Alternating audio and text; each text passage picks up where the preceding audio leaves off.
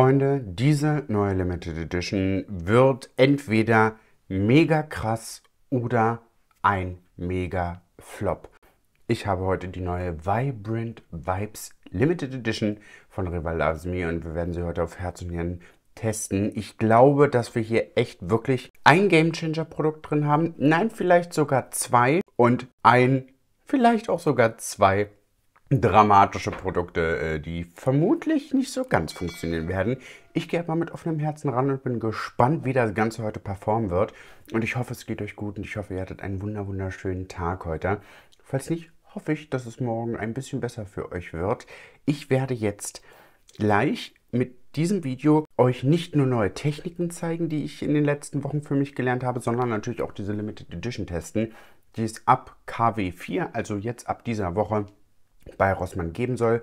Online sind die Produkte auch schon, habe ich eben gesehen. Und preislich ist das Ganze natürlich wieder dramatisch günstig. Ihr kennt die Preise von Rival Loves Me. Es ist mir ein Rätsel, wie das möglich ist. Die Sachen sind aber überwiegend sehr, sehr gut geworden in den letzten zwei Jahren. Und deswegen bin ich happy, direkt loszulegen.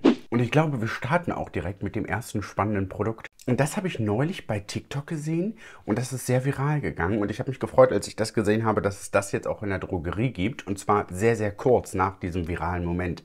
Was ein Zufall ist. Ne? Also die Entwicklung von so einem Produkt und die Produktion und die Verschiffung und das Einlisten und alles, das dauert hm, knapp ein Jahr. Deswegen, das war jetzt wirklich Zufall. Aber es gibt das Eyebrow Powder Set. Eine Eyebrow Cushion Stamp, ein Stempel, und drei Eyebrow Stencils, also Schablonen. Packaging ist sehr, sehr süß, kommt in diesem Holopapier. Vibrant Vibes heißt die Limited Edition. Ich habe sie einmal in der Farbe Dark Brown und Medium Brown. Und ich, ich gucke erstmal nach der Farbe. Ich glaube Dark Brown, hm, weiß ich nicht. Ich gucke. In der Verpackung ist einmal hier so, ein, so, wie so ein Stab und äh, wir drehen es mal auf. Da ist hier einmal das Puder und dann haben wir hier wirklich wie so ein Stempel. Das ist jetzt die Farbe Medium Brown und äh, die Verpackung von Dark Brown ist ein bisschen gräulicher. Okay, die ist äh, wesentlich dunkler. Ich glaube, ich gehe mit Medium Brown, aber ihr seht auf jeden Fall einen Unterschied. Was ich sofort sehe, ist, A, sie sind extrem pigmentiert. Also ich bin ja nur einmal raufgegangen und sie sind sehr, sehr, sehr, sehr kühl, die Farben. Ne? Also die hat so einen leichten gräulich-grünlichen Touch mit drin und die ist wirklich einfach nur dunkel, dunkel, dunkel, kühles Braun. Das ist schon mal sehr gut. Jetzt wird es aber ein bisschen aufregend, denn es gibt diese Schablonen. Drei Stück sind mit drin. Wir haben einmal den hohen Bogen, den Medium Bogen oh und den Full Arch. Die ist wesentlich dicker. Ich bin ein bisschen aufgeregt, ehrlich gesagt. Also erfahrungsgemäß funktioniert das nicht so gut. Ich gehe, wie gesagt, mit offenem Herzen ran und wir, wir probieren es jetzt einfach. Wenn es nicht klappt, mache ich es halt wieder ab. Ich, ich tue mich immer nur so ein bisschen schwer damit, das richtig zu positionieren, weil meine Augenbraue halt nicht so die klassische Form hat. Und ihr kennt ja meine Augenbrauenregel so ein bisschen. Die Augenbraue soll hier anfangen am inneren Augenwinkel. Der höchste Punkt soll diagonal vom Nasenflügel sein und der äußerste längste Punkt hier hinten verlängert vom Außenwinkel. Okay. Die sieht halt auch sehr, sehr groß aus. Ich nehme mal vielleicht die kleinere. Okay. Positioniert. Das ist nicht ganz richtig, aber wir probieren es. Ich stempel hier hinten, fange hier hinten an und werde dann leichter mit dem Druck.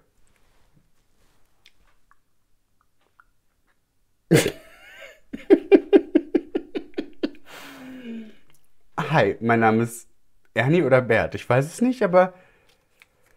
Hulala. Also, es hat geklappt. Und die Kontur ist top. Also wenn, wenn das eure Augenbraue ist, wenn ihr sie sehr gerne ein bisschen betonter habt, go for it. Mir ist es ein bisschen zu viel. Ich glaube aber, dass man damit eine sehr, sehr gute Sache machen kann, die ich jetzt natürlich auch ausprobieren möchte. Ich lasse euch nicht aus Videos raus mit, hm, ist doof. Also es ist extrem pigmentiert, das habt ihr gerade gesehen. Ich glaube aber, dass man damit extrem schöne Powder Brows machen kann. Das werden wir jetzt auch tun. Ich nehme einfach einen Augenbrauenpinsel, so einen flachen eingeschrägten und gehe hier ganz leicht rein. Dadurch, dass das eine sehr gute Farbe ist, glaube ich, kann man auch einen sehr, sehr guten Look mitmachen. Und ich male mir jetzt einfach mal hier unten so ein bisschen die Augenbraue lang. Ihr könnt natürlich auch an diesem Stempelkissen lang gehen und habt dann einfach eine schöne Farbe. Also, um es dazu zu sagen, wenn jemand diese starken Augenbrauen noch mag und auch Probleme hat mit der Form der Augenbrauen, dann funktioniert das schon. Ich weiß nicht, ob ich es im Alltag machen würde, aber die Farben sind halt sehr, sehr gut. Ne? Also ich probiere dann immer, ganz ehrlich, was kostet das? Vielleicht 2, 3 Euro. Habt ihr aber ein, ein sehr, sehr gutes Augenbrauenprodukt dafür bekommen, selbst wenn die Funktion, die ihr da nicht benutzt, vielleicht einfach nicht das ist, was ihr macht. Ne? Aber ihr habt trotzdem etwas. Farbe gefällt mir sehr, sehr gut. Man kann es leicht auftragen und hat dann diese gepowderten Brows, die immer ein bisschen natürlicher aussehen. Ne? Also das hat sehr gut funktioniert und man kann die Farben dann auch gut ausblenden. Ich gehe dann im Anschluss mit dem Bürstchen einmal nochmal so ein bisschen lang und verblende das und kann mir dann gleich im Anschluss die Augenbrauen ausschneiden. Also dafür hat es gut funktioniert, die Farben sind top. Und mit dem Stempel ist halt jetzt nicht so meins. Aber, uh, uh, uh, uh, uh, uh, uh, für alle meine Mäuse mit äh, Haarausfall, so wie mir, ich glaube, dass man dadurch... Mm, wait a second. Das ist wie so ein Ansatzpuder. Das ist auch nochmal ein Thema, das wollte ich mit euch auch nochmal besprechen. Das ist natürlich äh, eine gute Sache hier. Also wenn man zum Beispiel den Bart so ein bisschen, hier habe ich mich ein bisschen verrasiert, als Bartpuder oder als Augenbrauenpuder. Dadurch, dass die Farbe halt so extrem kühl ist, funktioniert das ganz gut. Das ist ein Problem, was ich mit vielen Produkten habe in der Drogerie, die für den Mann getargetet sind. Also so Bartpuder und Augenbrauenpuder und Haaransatzpuder. Die sind alle zu warm, die sind alle orange, die sind alle komisch. Farblich hat das sehr, sehr gut funktioniert, einfach um so ein paar Stellen vielleicht ein bisschen aufzufüllen. Okay, nun gut, man kann auf jeden Fall was mitmachen. Ist eine lustige Spielerei, man hat seine Freude. Ich habe gelacht, das ist es mir wert gewesen. Jetzt haben wir etwas, was sehr, sehr, sehr, sehr spannend ist. Und das ist ein 1 zu 1 Tube zu der MAC Strobe Cream. Bevor wir das aber machen, muss ich meine Haut ein bisschen vorbereiten und benutze dafür den äh, Repair Hero. Einfach, weil ich weiß, dass mein Make-up heute ein bisschen stärker wird und ich da wirklich gute Pflege brauche. Der Repair Hero spendet Feuchtigkeit und Niacinamid ist mit drin und Probiotik. Das heißt also, die Haut wird richtig schön gepflegt. Falls ihr Yepoda-Produkte noch nicht kennt, ich verlinke sie euch einmal unten. Da habt ihr wirklich eine sehr, sehr gut aufgebaute Hautpflegeroutine. Ich werde immer wieder gefragt, hey, kannst du mir eine Hautpflegeroutine empfehlen? Und mit Jepoda funktioniert das dann aber ganz gut, weil ihr wirklich eine Pflegeroutine habt, die wirklich darauf abgestimmt ist, dass ihr auch zusammen funktioniert. Und deswegen freue ich mich, dass ihr mit meinem Rabattcode auf jeden Fall eine Menge sparen könnt. Und ab 69 Euro gibt es auch noch die Cetox-Maske gratis mit dazu. Ihr seht das, die ist jetzt fast leer. Ich benutze die mindestens einmal die Woche. Und die umsonst ist natürlich cool. Und dann habt ihr so ein ganzes Full-Set. Ihr wisst auch, dass es mittlerweile die die Sheet Masks gibt. Ich liebe die. Die sind ein Game Changer gewesen. Vor allen Dingen, ich blende sie euch hier ein. Die hat mir so, so gut gefallen. Ich habe sie leider schon aufgebraucht. Ne? Ich habe die vor Weihnachten bekommen. Ich habe die so regelmäßig gemacht, dass ich jetzt keine mehr habe. Das heißt, ich muss mir gleich mit dem Code auf jeden Fall noch welche bestellen. Aber der Code gilt halt auch erst, wenn das Video online geht. Und vorher kann ich es noch nicht machen. Im Schluss gehe ich mit der The Make My Day Cream nochmal rüber. Die ist echt super, um das Make-up vorzubereiten, weil die einfach sehr schnell einzieht. Die ist von der Konsistenz her so ein bisschen geliger. Die ist auch nicht so schmierig, die ist nicht so fettig, die spendet Feuchtigkeit, die schützt und hier ist Zika und Jojoba mit drin. Also Zika ist Tigergras, Zika hilft und das habe ich euch schon mal erzählt. Ich fand das so toll und das ist wirklich mir die liebste Anekdote dazu. Wenn Tiger eine Verletzung haben, durch einen Kampf oder weil sie ausgerutscht sind oder weiß ich nicht, sie eine Verletzung haben, dann suchen die sich in Zika, weil Zika dafür sorgt, dass Wunden schneller und besser und antibakteriell verheilen. Und das ist damit drin. Das heißt also, wenn ihr so wie ich hier gerade eine Unreinheit habt und äh, mit Zika arbeitet, dann wird das alles viel, viel schneller verheilen und ebenmäßiger verheilen. Ich verlinke euch die Jepoda-Webseite einmal unten. Schaut da gerne wirklich mal vorbei weil diese ganze Reihe so gut aufeinander abgestimmt sind. Alles made in Korea, also wirklich am Fokus der neuesten Skincare-Entwicklungen in Korea. Mit Liebe gemacht, alles vegan und selbstverständlich cruelty-free. Und mit dem Rabattcode könnt ihr natürlich noch eine Menge sparen. Ich, ich liebe die Produkte wirklich. Ich, ich, arbeite jetzt schon so lange mit Jepoda zusammen und vor allen Dingen, weil es einfach so logisch aufgebaute Produkte sind und ich genau weiß, da steht überall drauf, in welcher Reihenfolge ich was benutze und das macht es mir natürlich auch super einfach. Deswegen schaut da gerne mal vorbei und denkt an den Rabattcode. Und jetzt seht ihr auch, wie schön frisch und mit Feuchtigkeit versorgt die Haut aussieht. Und das ist das Wichtigste für das, was wir jetzt gleich machen werden. Denn wir haben diese Vibrant Vibes Strobing Cream. Strobing war vor, ich würde mal sagen, fünf Jahren das Ding glaube, MAC hat auch diese Strawberry Cream gehabt. Die ist ja damals viral, das Wort gab es noch nicht. Aber Strawberry Cream hatten wir gefühlt, glaube ich, alle. Jetzt gibt es sie von Rival Loves Me. Hier sind 17 Milliliter mit drin und das soll für einen strahlenden Look sorgen mit ultrafeinen, lichtreflektierenden Pigmenten, geeignet für Gesicht und Körper. Ich swatche euch einmal ganz kurz. Wirklich die mini, mini, mini, minimalste Menge. Ist sehr ergiebig. Das ist so ein silbriger, perlmuttiger Glanz. Und ihr wisst, was ich früher immer gemacht habe und auch heute noch sehr gerne tue. Ich benutze Liquid Highlighter oder Liquid Strobing Cream Produkte als allererstes nach meinem Primer, nach meiner Pflege.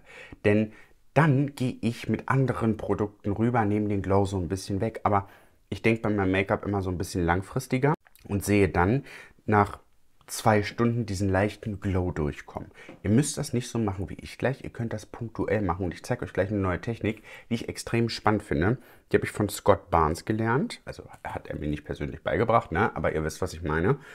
Wo er Underpainting macht. Das heißt also, er geht mit den starken Produkten wie Highlighter, Blush und Contour als aller, allererstes rauf und geht dann mit einer hauchdünnen Schicht Foundation rüber. Ich werde jetzt auf jeden Fall die Strawberry Cream überall hin verteilen. Die hat auch keinen Duft, also ich kann jetzt wirklich keinen wahrnehmen. Und ihr seht sofort diesen Glowy-Effekt. Und ich finde, dass der Tatsache gar nicht so stark ist. Also wenn ich den jetzt vergleiche mit dem, oh Gott, wie ist denn der? Rare Beauty Highlighter. Das ist natürlich nochmal eine ganz andere Hausnummer. Es ist schon doll und das ist schon Zinnmann. Aber glaubt mir, Trust, heute wird wirklich ein Vertraut dem Prozess Video. Denn das ist heute wirklich viel, was wir hier machen. Und ich möchte nachher aussehen wie als wäre ich das Olivenmeer. Nicht als wäre ich aus dem Olivenölmeer emporgestiegen, sondern ich möchte aussehen wie das Olivenölmeer. Funktioniert sehr gut, hinterlässt auch keinen schmierigen Film auf der Haut, zieht gut ein. Ihr könnt es entweder mit dem Finger, ihr könnt es in eure Foundation mit reinmischen. Also diese Strobing Creams sind mega, wenn ihr Glow wollt. Also wenn ihr wirklich, wirklich Glow wollt und aussehen wollt, als hättet ihr sehr, sehr viel Wasser getrunken. So sieht das Ganze ein bisschen verrückt aus. Wir machen aber jetzt wirklich diese Scott Barnes Technik einmal, damit ihr das äh, versteht, was ich meine. Ich nehme mir einen Contour-Stick und dadurch, dass wir vorher mit den dunklen Farben arbeiten, kann man da natürlich auch ein bisschen mehr Gas geben. Und den blende ich jetzt so ein bisschen aus. Ich mische da aber gleich meinen Kaya Cream Bronzer mit rein. Der ist ein bisschen wärmer und in Kombination mit äh, dem Fenty-Ding funktioniert das dann sehr, sehr, sehr, sehr gut. Es sieht verrückt aus. Und glaubt mir, wenn euer Mann, euer Freund, eure Frau, je nachdem, wer jetzt gerade kommt, euch so sehen würde, ihr würdet denken, du hast völlig einen an der Marmel, ne? Aber es wird. Ihr könnt es ruhig ein bisschen übertreiben, aber denkt dran, das jetzt schon mehr oder weniger ordentlich zu verblenden. Kurz ansetten lassen und wir können mit der Foundation drüber gehen. Blush trage ich jetzt noch nicht auf. Dann möchte ich nachher einen neuen Blush benutzen. Und wir gehen jetzt einfach mit einer ganz, ganz, ganz, ganz dünnen Schicht Foundation rüber. Ein Pumpstoß reicht. Und dann arbeite ich das Produkt wirklich gut in den Pinsel und gehe einfach erstmal um die Stellen herum von dem Bronzer, von dem Blush, von dem Highlighter. Gut, Highlighter habe ich jetzt überall, aber dadurch haben wir ein leichteres Ergebnis. Jetzt seht ihr, wie, also natürlich ist hier absolut das falsche Wort, ne, versteht mich nicht falsch, aber im Vergleich, hier sieht es aus, als hätte es da gerade Wässer voll in, in so eine Felge reingedonnert und die hat ein bisschen abgefärbt. Hier ist es so ganz zart und sehr natürlich. Ich hole euch gleich ein Stückchen heran. Ich mache aber schnell die andere Seite, weil sonst wird nichts hier. Ich lieb's. Dieser Kontotrick, also, ne, um es mal ein bisschen alltagstauglicher zu machen, das ist mein, mein Anspruch, den ich mir vorgenommen habe dieses Jahr, äh, das Make-up ein bisschen alltagstauglicher für euch zu machen. Probiert mal mit ähm, dem Bronzer einfach wirklich zuerst zu arbeiten, weil er dann nur von unten so leicht durchscheint und nicht so aussieht, als hättet ihr noch Bronzer oben rauf geklatscht. Ich glaube, ihr könnt mir folgen. Okay, also diese Strawberry Cream kommt auf jeden Fall durch. Man kann natürlich auch wesentlich weniger benutzen. Ich sehe hier gerade, es gibt aber auch noch zwei Nagellacke. Die sehen vom Aufblick recht ähnlich aus. Der eine hat einen etwas rosaneren Touch und der andere so einen etwas lileren Touch. Packe ich euch in eine Verlosung, bleibt genau so. Genauso wie dieser Pinsel. Das ist der Vibrant Wipes Puderpinsel mit äh, 100% recycelten PET-Kunststoff. Die Verpackung ist selbstverständlich vegan und ist perfekt für wunderschöne Schminkergebnisse auf den Wangen und im Gesicht.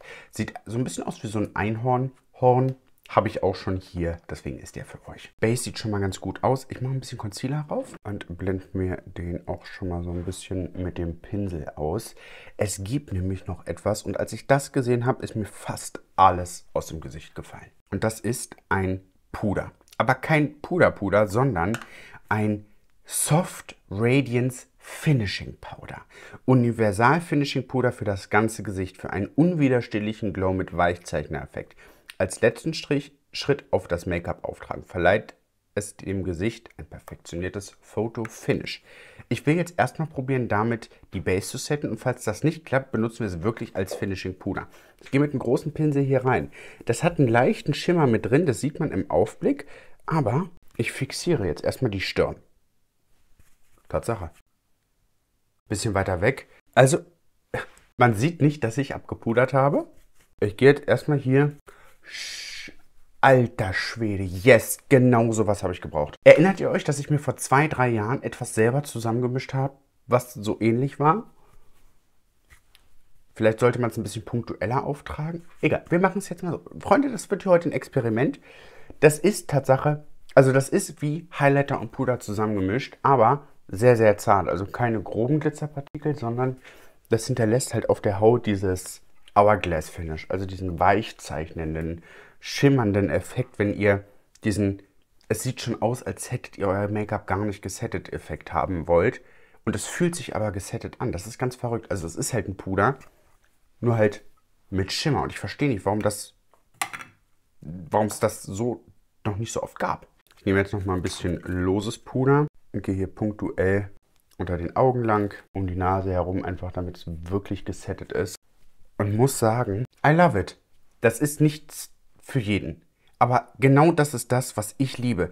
Diesen super Radiant Finish. Also an Textur würde ich ein bisschen aufpassen. Auf der Stirn, da wo wirklich viel Fläche, bei mir zumindest ist, kann man das sehr, sehr gut machen. Oder du benutzt es halt wirklich nur so als, als Hauch. Wir dürfen natürlich jetzt auch nicht vergessen, ich habe jetzt aber auch gerade eine halbe Flasche Strobing Cream unter dieser Foundation. Also ich das war eindeutig, dass ich aussehe wie, wie, wie der Regenbogenfisch heute. Was ich jetzt mache, ist noch ein bisschen Blush auftragen. Ich nehme einfach den Rest, den ich hier am Pinsel habe und arbeite mir das hier so ein bisschen hin. Und dann sieht das Ganze gleich auch ein bisschen. Das ist halt Skin, ne? Und ich glaube, jetzt mal, jetzt mal Klartext. Ihr kennt mich ja mittlerweile ein bisschen. Ne? Ihr wisst, dass ich in den Videos immer recht stark übertreibe, wie ich die Produkte auftrage, damit ihr das Finish dann auch wirklich übernehmen könnt. Ne? Also Ihr dürft nicht vergessen, ich habe hier sehr viel Licht. Ich habe eine Kamera, die kommt ins Schneideprogramm. Ich lade es bei YouTube hoch und YouTube lädt es wieder auf euer Handy runter. Und dazwischen sind viele Kartoffeln. So ungefähr. Und das macht natürlich das Video sehr platt, sehr, sehr eindimensional. Und wenn ihr ein Produkt aber habt oder, oder wenn ich ein Produkt habe, muss ich einfach ein bisschen mehr benutzen, damit ihr den Effekt so seht, wie er bei euch aussehen würde, wenn ihr nicht so viel benutzt.